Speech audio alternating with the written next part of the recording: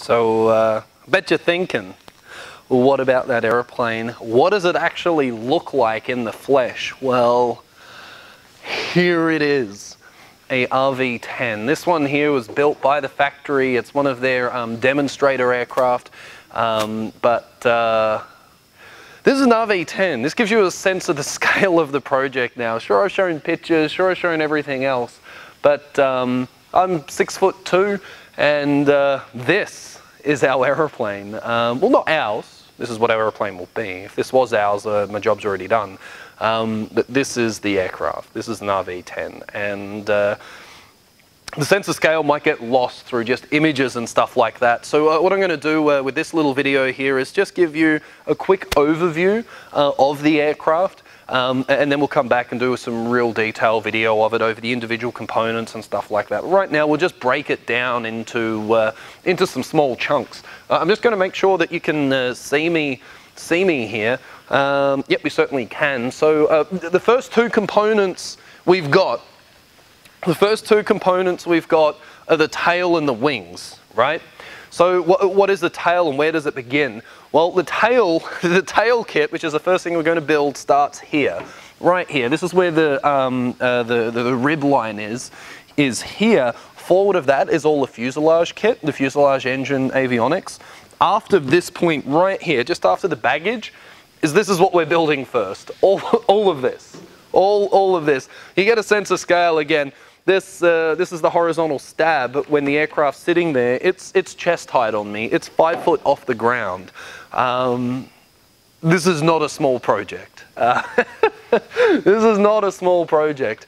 Um, it, vertical stabilizer, you can see towers above me. It's, uh, uh, you know, it's a good two, two and a half feet above me, right? It's, um, this is a big aeroplane. Uh, it's a big aeroplane, and uh, I, I, think the I think the sense of scale can sometimes uh, maybe perhaps be lost at the size of the thing. Um, like I can go ahead and give give the tail a big old hug here, but um, it's uh, sorry about the mic as well there, but uh, it's a big plane. It's it's a big aircraft. So that's that's the tail. So again, the tail the tail that we're building first starts right here, and we're building all of this first. And uh, I'm planning it should take maybe about, I mean, maybe about two months. Uh, what I'm hoping for is to have this tail completed. That's going to include, um, you know, the trim tab, uh, all of the flight controls, uh, all of that other stuff uh, is all included in that time. Um, it's, uh, um, yeah, yep. It's a big project. The other one, the other component that we're picking up uh, tomorrow is, uh, is the wings. And, uh, well, we all know what wings are like. Um, again, I'll jump up on the aircraft here. There's a, a good bit of wing walk.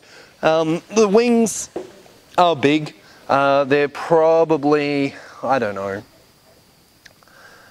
uh, they may be 10 foot across, so we're talking about a, about a 20 something foot wingspan. I don't know 100%, um, I probably should know, but uh, th this, uh, this is the aeroplane. This is what we want to build. Um, this is what we are going to build. It's, uh, yeah. The, the, the, thing to note about this plane, I'll jump in the back here and show you in a second, is uh, the reason why I like this aircraft over a lot of other four-seaters is you can see my size, right? I'm not, I'm not, uh, I'm not a small dude, but um, I'll comfortably be able to sit in the back seat. I'll easily be able to fit in the back seat. I'll go ahead and show you that here. So um, putting real people in this aeroplane is not a problem, um, not a problem at all. Uh, you could take three real adults, almost full fuel, uh, easily full fuel, easily full fuel with three adults. Um, if you went two adults and two um, smaller people in the back end, uh, weight-wise, size-wise, whatever, kids in the back, um, there's never any issues with CG or anything. It's uh, this is an incredibly well-built and designed aircraft for hauling four people and four real people. You know, when you talk about, say, something like a Cessna 172, in theory there's four seats, but in all practical senses there's two, maybe three. Sure, you can fit three people in, the, in say, a 172, but your range would drop to, say, maybe 250, 300 nautical miles, uh, about three hours worth of fuel, plus reserves.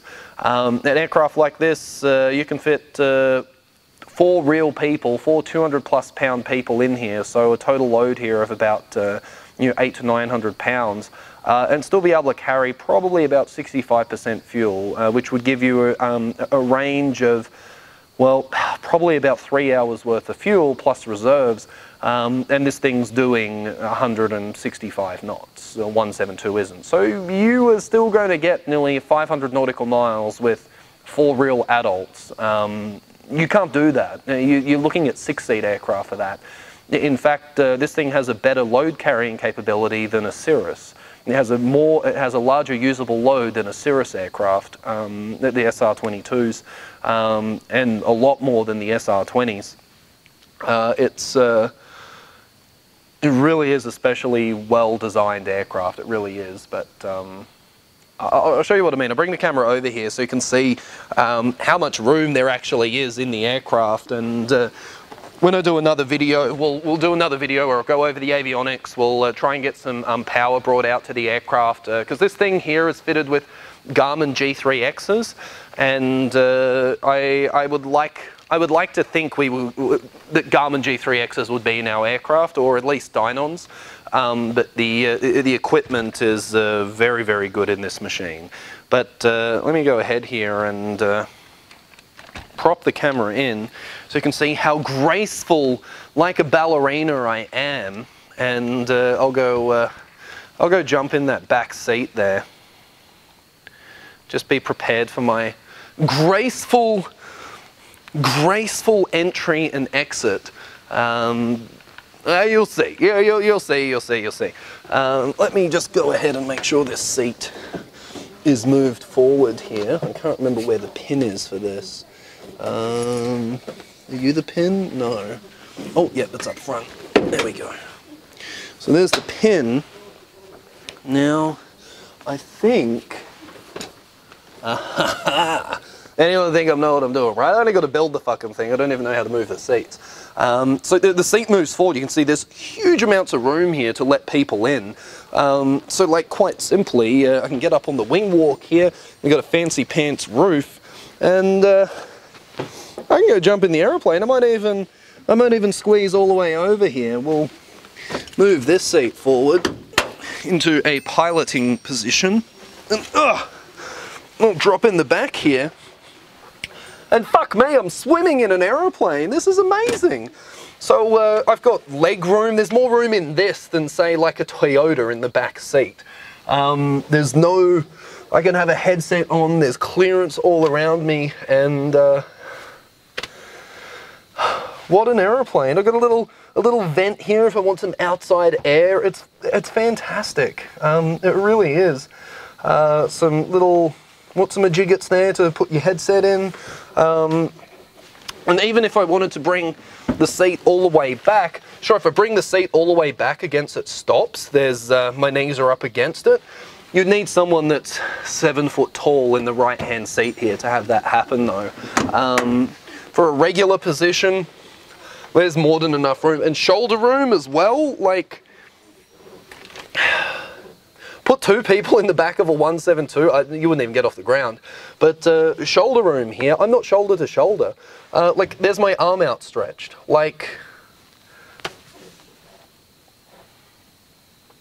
it's an amazing aircraft. It really is. For there's a lot of dollars involved in making this plane. Uh, there's no doubt about it, there's a lot of dollars involved. We can't get around that. But what this thing offers for those dollars is amazing. The, the bang for buck out of this plane, and I've talked a lot about that in stream, right? When purchasing aircraft or flight sim products or anything, um, is the, what is the dollar, what is the bang for buck that I get out of the machine? Um, and uh, it's like my microphone's on the way out and this is one of the best you can get. Um, there is an expense, everything costs something, but uh, um, there's so much room here. I don't feel like I'm in a light aeroplane. Um, I've got a beautiful view, a Valdude view right here of the wing. I'm just after the trailing edge of the, uh, well, I'm actually right on the trailing edge of the wing. Um, I've got a good view forward, I've got a good view aft. Um, I, I can see out the front. I can't quite see the engine cowl from here because I'm a little bit lower. Um, but uh, I, I, I, can't quite see the engine cowl, but I can see very far forward. Um, so even being back here as a big person is uh, very comfortable, very, very, very comfortable and very usable. It's um, you not, I would not be scared of putting two people back here, not at all. As long as there was enough weight forward. But this aircraft actually starts on a forward CG that you actually need to, if you're flying this aircraft solo and you weigh about 180 pounds, you need to put weight in the baggage compartment. Um, it's too far forward on the CG limit. So this aircraft starts on a forward CG limit and moves aft. So having more weight back here is, in some cases, good. All of the fuel is slightly forward of the CG, um, or negligible change on the CG. Um, it's uh, it's a really cool plane. It is a really, really, really cool machine. Um, I, I, don't have enough good things to say about it. The view here is so cool. I'll, bring the camera in so you can get a sense of the, the view that I've got. Um, and uh, uh, yeah, yeah, so you can have a look around and see what see what I can see. Um, but I'll be graceful like an ox getting out again. And uh, I mean, like I'm tall and I can still get in and out easily. It's uh, it really is cool. I, I don't know of any aircraft that has a 172, sure you can fit in the back, but uh, you're not going to have much fun doing it. Let's go, I'll jump right into the back seat here again and uh, be somewhat graceful again while I, oh, fuck. Yeah, let's just go, shit. I'm so graceful. I just uh, knocked, uh, it is actually really handy. The, um, the uh, seat belts actually um, are mounted with a, a five-point harness for the front seats. Uh, they're, they're, mounted back here, but um, they got little hooks there. So yeah, this is the view. Uh, let's that's a seat. I'll bring it back so you're sort of in an eye line here, but uh, like this is the view out of the wing. Come on, camera. I just took a photo. This is the view out of the back here. Like you can see the tail. There's the wings. This is the view sort of forward here. That's an RV12 ahead there. Um, you can kind of see uh, beside the seat here and easily see the avionics.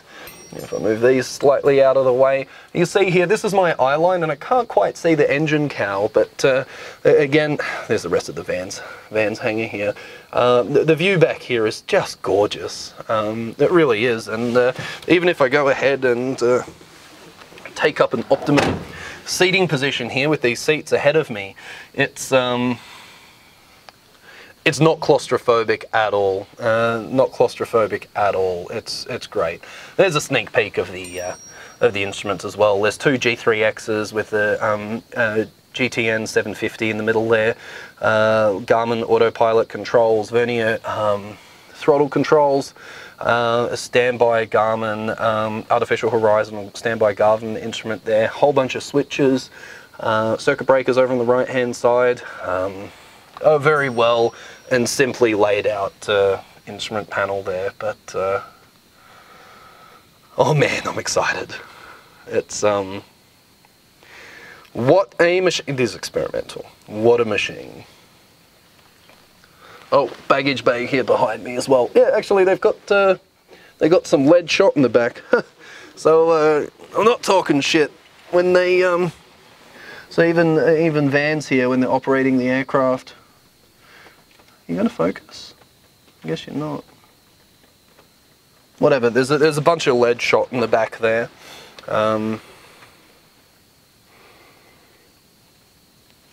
it's so cool, guys. But they're our wings. These are the wings that we're going to be uh, building. Oh yeah, here's the uh, here's the uh, the seat controls. It's just a little a little what's-a-majigget there to. Ah, sorry, I'm trying to do this one-handed. It's a little bit difficult. Here are the wings. Well, they're my feet.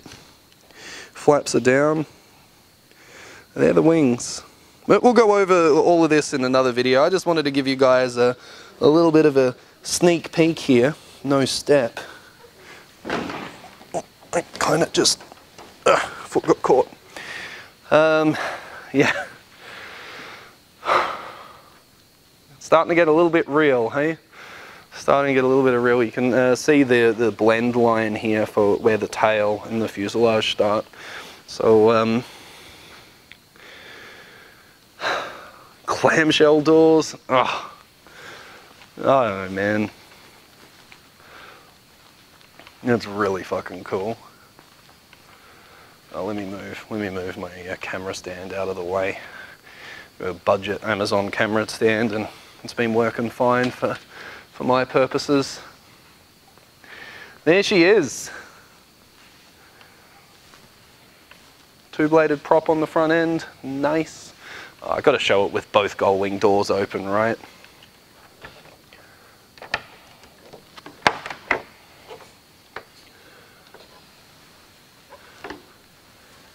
Yeah. Yeah, yeah, yeah. Look at that.